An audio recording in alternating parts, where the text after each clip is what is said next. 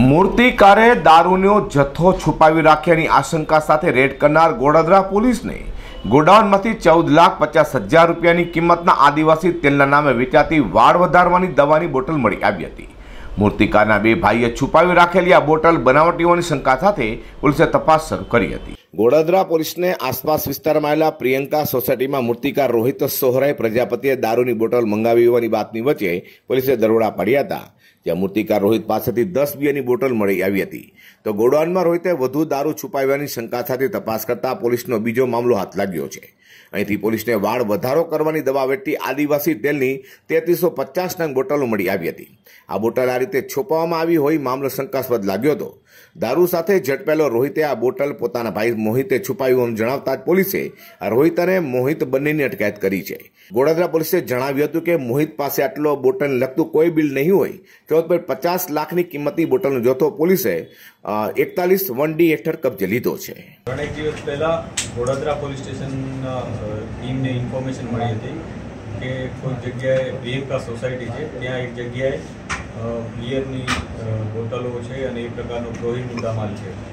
આ અનુસંધાને પોલીસે ત્યાં રેડ કરી હતી અને ત્રીસ જેટલી બિયરની બોટલ મળી હતી. જેમાં પોલીસને એવી શંકા હતી કે હજુ વધુ મુદ્દામાલ મળશે. જે બાબતને લઈને આસપાસ પોલીસે તપાસ કરી હતી.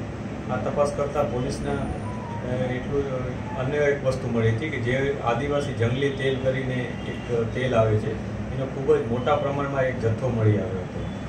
આ બોટલોની સંખ્યા કુલ ત્રણ હજાર ત્રણસો પચાસ છે.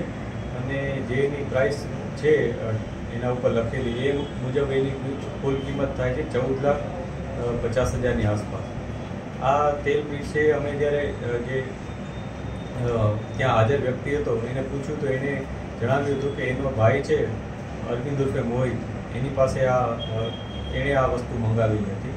હવે એને કઈ રીતના મંગાવી એની અમે તપાસ શરૂ કરી હતી કે જેમાં પોલીસને જાણવા મળ્યું હતું કે એને કુરિયર મારફતે કોઈ જગ્યાએથી મંગાવ્યું હતું.